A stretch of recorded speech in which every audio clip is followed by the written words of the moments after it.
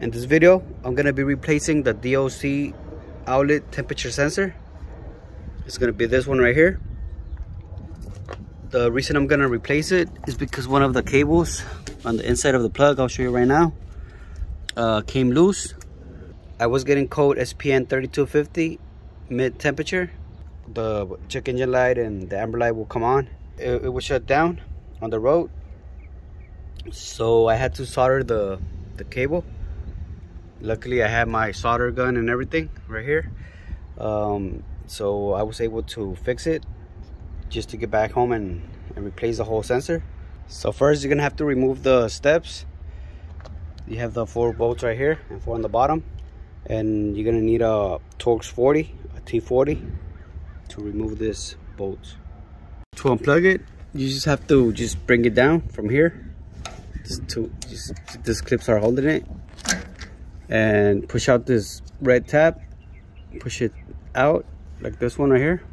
Uh, right now it's unlocked because I was working on it. And then you just press this tab down and pull the the plug out. So right there is unplugged. As you can see I had to solder it just so I can get back home. On the inside just the the inside came loose so I soldered it but I'm gonna replace the sensor. I don't want to have any issues no more. So I'm gonna put some WD-40 just around the nut. I'm gonna let it sit for a while. Hopefully it'll make it easier to get out. And also I'm gonna use a propane torch to heat it up right here.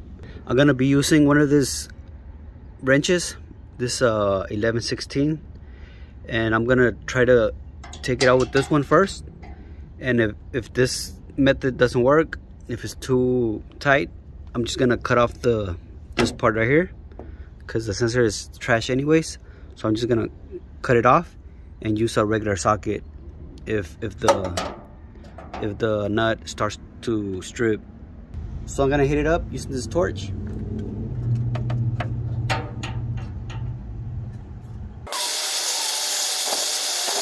So I'm gonna try this first.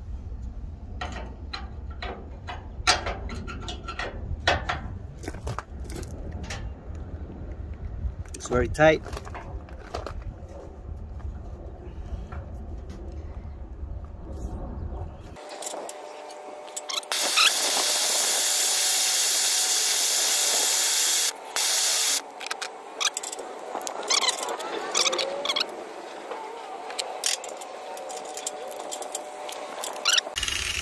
So I'm gonna use a grinder to cut this off.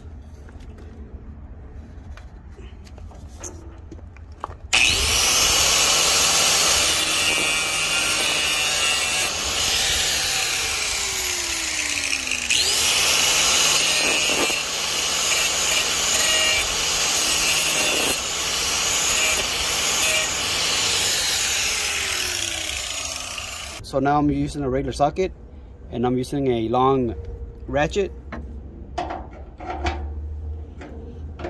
So I'm gonna see if this works.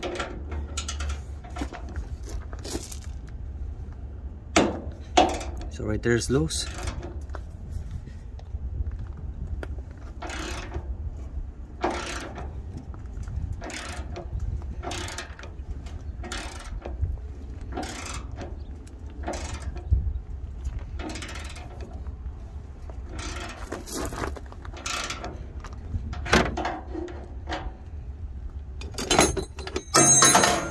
I'm gonna add some more WD-40 feels kind of hard. But I want to break the the one box.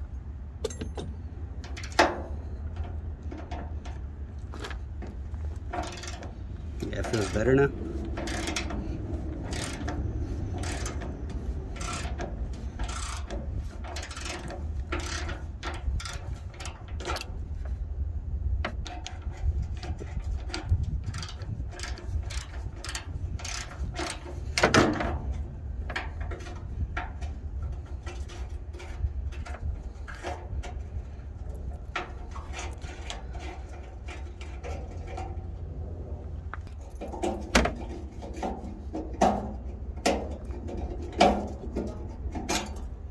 so I was trying to put in the the new sensor but the old thread it's stripped from the inside already. I guess the the other person that installed it uh, they didn't put it in straight or whatever the reason it was. It's the the thread inside is damaged. I couldn't just just put in the new one. So I wasn't able to use the same thread. Uh, the thread got messed up so I bought this one at the dealer this is a brand new one. So I brought it to a shop right here and I'm gonna get it welded I'm gonna remove this one and get this one welded into the same place and then just bring in the whole thing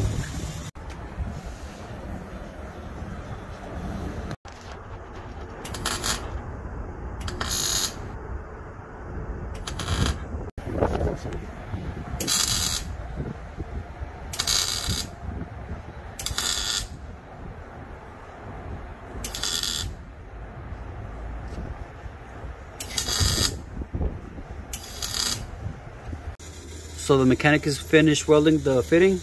So if you were able to use your your your same fitting if the thread is still good you just screw it back in screw in the new sensor and you just plug in the the plug over here. Just put it back in place. Still gotta still gotta finish it right here. Just push it in and I'm gonna put some zip ties on this wires right here. Just put some zip ties. And that's basically it. Put back the, the step. So if you're interested in buying the the fittings you can get them at the Freightliner dealer. These are the part numbers that I bought. They're pretty cheap. They're like $13 around there. I'm not exactly sure what the part number for this one is. I bought uh, different fittings so I'm not sure which one is the one for this one but it should be one of these. But just ask the dealer to give you the one for the DOC outlet temperature sensor. And I bought a couple others in case I need to do the the other ones. So that's it for this video and thank you for watching